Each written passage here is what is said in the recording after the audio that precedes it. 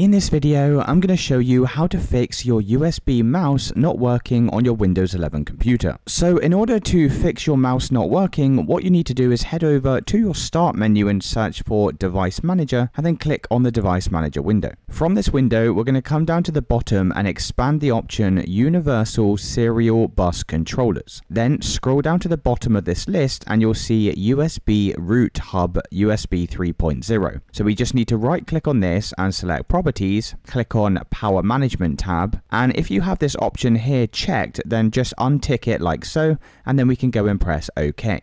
Now, if that's still not working, what you need to do is come up to the top option in this list, and we're going to right click on it, select update driver, and press search automatically for drivers. And then once you've done that, you can also check to see if that solved your issue. Now, if it's still not working, right click again on this process, click on uninstall device, and then select uninstall. Once you've uninstalled this, you can click on Action in the top navigation and select Scan for hardware changes. Once you've done that, you can then restart your computer and that should have then fixed any issues you were having. If it's still not working, you can try disconnecting your USB mouse for around about 30 seconds and you can try inserting it into a different USB port. You can also try connecting your mouse to a different computer just to make sure there's no hardware issues with the mouse itself. And it's as simple as that guys. If you did find this video helpful, then let me know in the comments and I'll see you in the next one.